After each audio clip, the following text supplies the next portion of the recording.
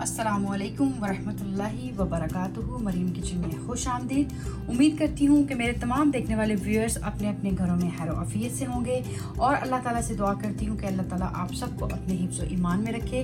दीन दुनिया, आखिरत की तमाम खुशियाँ आप सबको देखनी नसीब फरमाए। और अचानक आने वाली तकलीफ़, मुसीबत और बला से अल्लाह ताला आप सबकी हिफाजत फरमाए। आमीन सुम आमीन। आज मरीम किचन में हम जो रेसिपी बनाने जा रहे हैं, वो है दही जमाने की। दही जमाने की रेसिपी आज हम आपको बताएँगे भी और सिखाएँगे भी एक नए टिप्स और ट्रिक के साथ। और वो कैसे, आइए देखते हैं।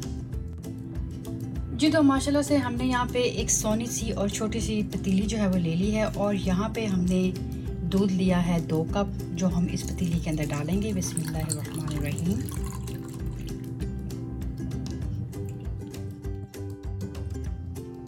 जी तो यहाँ अपनी सोनी सी पतीली में हम दूध डाल चुके हैं और अब इसको हम लेके जाते हैं चूल्हे पे और यहाँ पे चूल्हा हमने ऑन कर दिया है।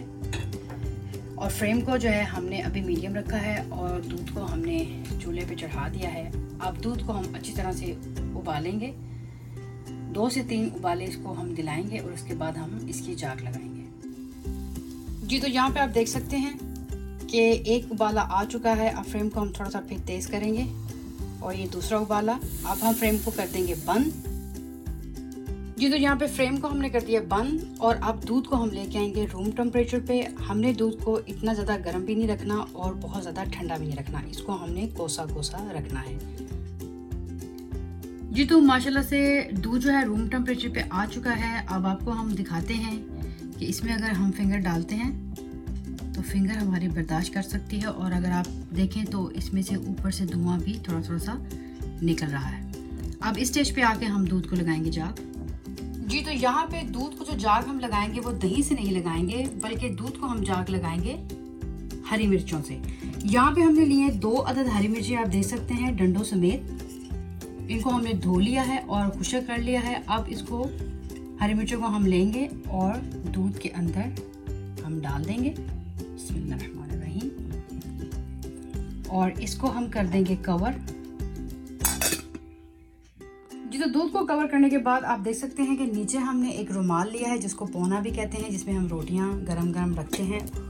उस रुमाल से हम इस पतीली को अच्छे तरीके से कवर कर लेंगे और इस पतीली को हम रखेंगे किसी गर्म जगह पे। और जो गर्म जगह हमारे पास है, वो है ओवन। ओवन के अंदर जो है, हम इस पतीली को रखेंगे। इस तरह से हम इसको कवर कर लेंगे। जी तो दूध को अब हम रखेंगे ओवन में ओवर नाइट के लिए या सात से आठ घंटे।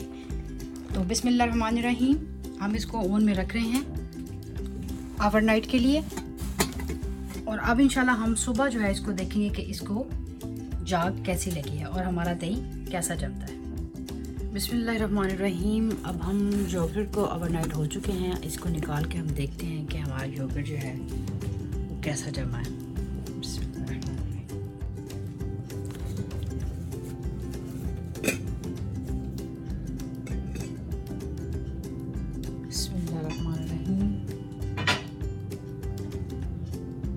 माशाल्लाह माशाल्लाह।